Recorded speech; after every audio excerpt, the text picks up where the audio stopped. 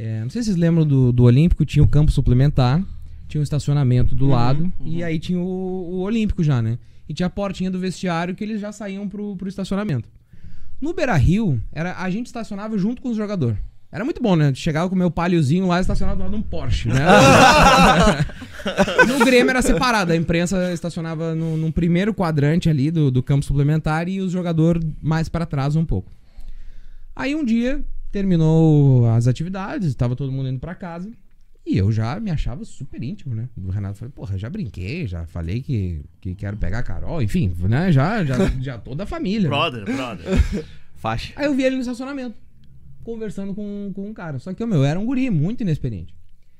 E aí eu não sabia que era um dirigente, não, não sabia quem era o cara. E aí os dois conversando. E aí eu peguei e falei assim, putz, cara, vou, vou lá trocar uma ideia com o Renato, né? Inocente pra caralho. Aí eu fui com o meu bloquinho de, de notas na mão, uma caneta, e fui conversar com o Renato. Cara, eu cheguei perto dele, o Fernandão, o segurança, começou a gritar, cara.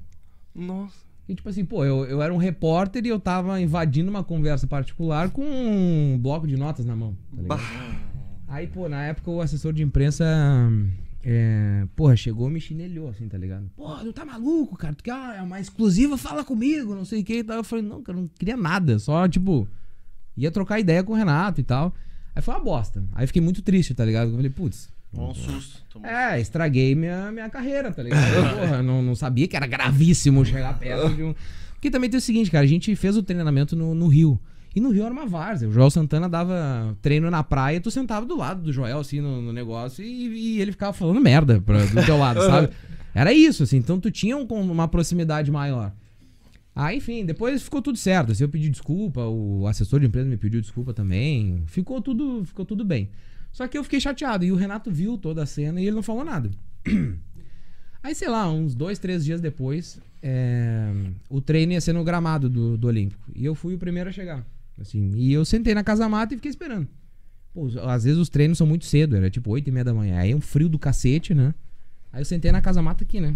Tipo aqui e tal, blá blá. Aí, pô, não, não começava, não começava. Ah, vou caminhar um pouco pra, pra ver se dá um. Né?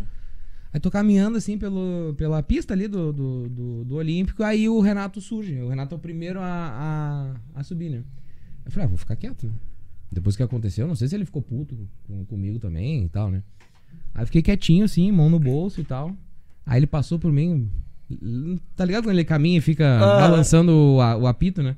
Ele passou por mim e falou assim: tá tudo certo, garoto. Ah, Tá tudo certo. Calmou, Tudo tranquilo. calmou. Caralho, tirei um peso das costas, né? cara? Imagina, o, o ídolo chegou e falou isso, né, cara? É. E eu, porra, eu não me identificava como gremista, né? Não, não podia, por causa dessa, dessa merda de, de ter só dois times e a galera não aceitar, né? Então. Ele mostra que é aquele jeito de durão, mas ele tem um coração, né? Ele tem um coração gigante É, cara, lá no porra, fundo, ele, ele né? é muito legal. É. Lembra aquele episódio do cachorro? Que ele pegou um cachorro, fe- fez a adoção do cachorro. Ele é um cara legal, cara. Tem muitas histórias de bastidores do Renato. Tem, tem Muita várias. gente. Uhum. Cara, tem.